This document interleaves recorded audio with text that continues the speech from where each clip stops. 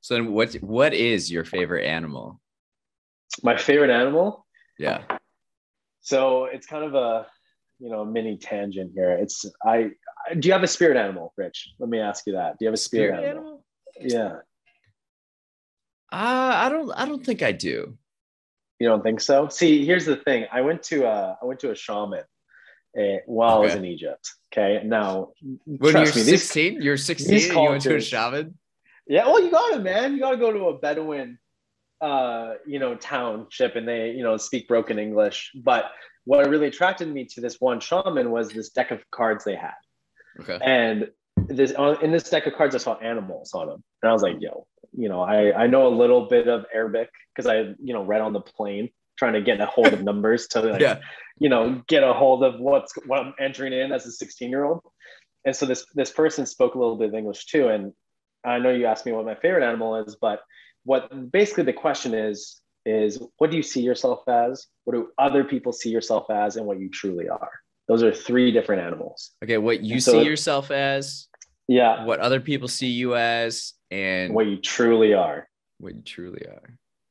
And so it's really interesting. So they have the cards out on the table, and you, you pick your your what you see yourself as, like face down. You don't know what it is, and what other people see you as face down, and then what you truly are. And it's supposed to reveal aspects of you that you don't know. So I flip over the first one, what I think I am, and I get a shark, and I'm blown out of the water. I'm like, hell yeah, wrecked. I'm a fucking shark. That's dope. Like Yeah. that's yeah. Take that, mom. I'm a Yeah. shark I'm you know sure.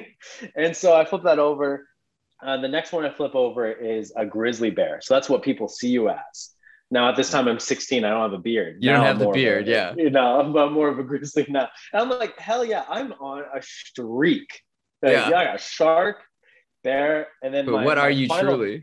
what am I truly is the real question, Rich. So I flip it over. And I've never been as disappointed. Well, until she didn't text me back. But I I flipped I flipped it over and it was a red panda. A red A panda. That's red- not that's not too bad though. Dude, I got a shark, a bear, and then a red panda. Ladies This love red thing pandas. that comes up on its on its like feet, right? Yeah. So little red panda, I know you probably know, but for everyone that doesn't know what a red panda is, it looks like a raccoon that's been fried as a marshmallow and is dumber. it's not even a trash panda. It's just this this animal that falls out of trees. Anyways, um, then the shaman gives you this book and it's translated in English, Japanese, all these things, and it goes to the page that you're a red panda, and you're like, sorry for your luck, man. You're a red panda. Read this paragraph. And it was so spot on that it was crazy. I was Really? reading it, being like, no fuck no. And like, no way, no way. And then I was like, what? It's like even says your strengths, says your weaknesses, says your tendencies, how you with, you know, the ladies in the club. It says, you know, how you treat your mom, like all these different. Yeah. And I was like, yeah, to a T, man, to a T. And so, anyways, when people ask me what my favorite animal is, I say uh, dog because red pandas are so blah.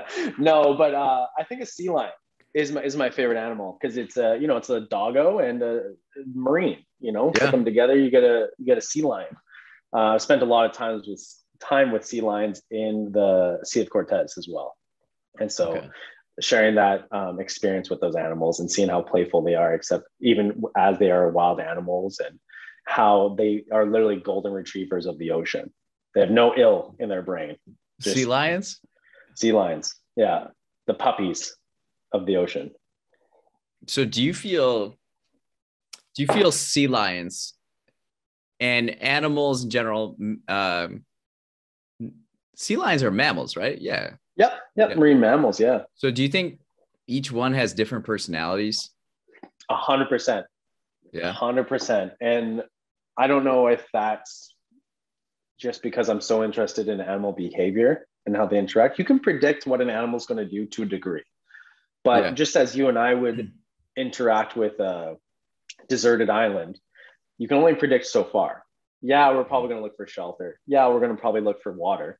But what day are you going to break? How how Yeah. far can you go before you get pushed too far?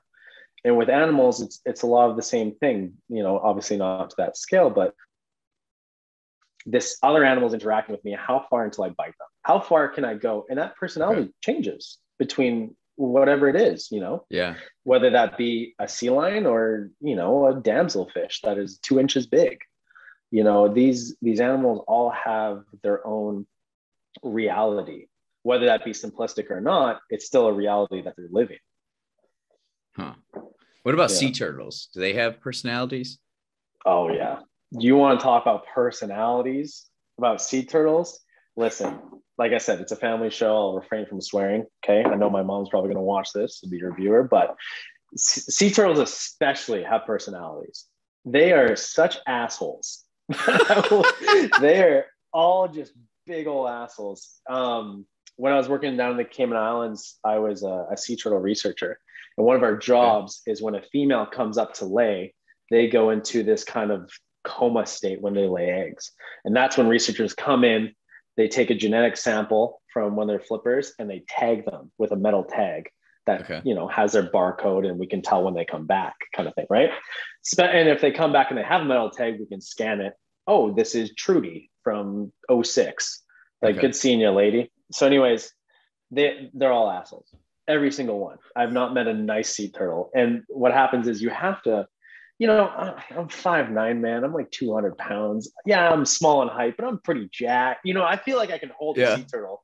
And one of my um my superiors says hey bryce get on the back of the sea turtle and hold it there while we clip it just in case it wakes up i'm like yeah no problem this thing's a small animal i got this Yeah. I get on this sea turtle, Rich. I get on it. And like I said, I'm backing up. I'm sorry if you see my loafers. I'm sorry. I'm backing up though. I grab this, the carapace of the sea turtle. I grab the shell of it. And this thing just wakes up and takes a huge chunk out of my thigh. Just immediately. Doesn't look what it is, takes a chunk. And I'm swearing, like I said, your kid show.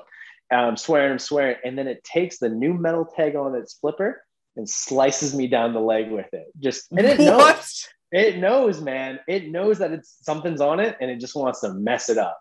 You know, like I said, we're, I'm being, I'm, in, I'm holding it, you know, just as I would a woman, and it just cuts down my leg, and I'm like, you bitch, how dare you, man?